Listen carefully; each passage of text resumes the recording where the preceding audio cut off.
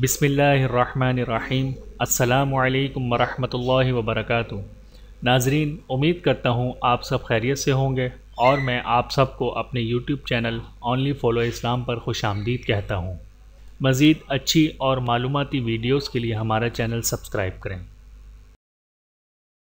اور آج کی ہماری اس ویڈیو کا عنوان ہے حضرت عثمان غنی رضی اللہ تعالی عنہ کے دس اقوال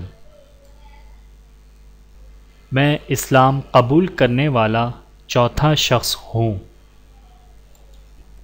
رسول اللہ صلی اللہ علیہ وآلہ وسلم نے یکے بعد دیگرے اپنی دو صاحبزادیوں کو میرے عقد میں دیا۔ میں کبھی گانے بجانے میں شریک نہیں ہوا۔ میں کبھی لہو و لہاب میں مشغول نہیں ہوا۔ میں نے کبھی کسی برائی اور بدی کی تمنا نہیں کی۔ رسول اللہ صلی اللہ علیہ وآلہ وسلم سے بیعت کرنے کے بعد میں نے اپنا سیدھا ہاتھ کبھی اپنی شرمگاہ کو نہیں لگایا۔ اسلام لانے کے بعد میں نے ہر جمعے کو اللہ تعالی کے لیے ایک غلام آزاد کیا۔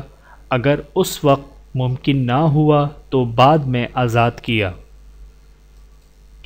میں زمانہ جاہلیت یا عہد اسلام میں کبھی زنا کا مرتکب نہیں ہوا۔ عہد جاہلیت اور زمانہ اسلام میں میں نے کبھی چوری نہیں کی۔ سب سے بڑا خطا کار وہ ہے جو لوگوں کی برائیوں کو بیان کرتا پھرتا ہے۔ تو دوستو، اس ویڈیو میں اتنا ہی۔ اگر آپ کو یہ ویڈیو پسند آئی ہے، تو اس ویڈیو کو لائک کر کے ہماری حوصلہ افزائی کریں اور اس ویڈیو کو اپنے دوستوں کے ساتھ شیئر کریں، تاکہ اور دوسرے لوگ بھی آپ کی طرح اس ویڈیو سے فائدہ اٹھا سکیں۔ اور کمنٹس کر کے ہمیں اپنی رائے سے آگاہ کریں۔ اللہ تعالیٰ آپ کو جزائے خیر عطا فرمائے۔ آمین۔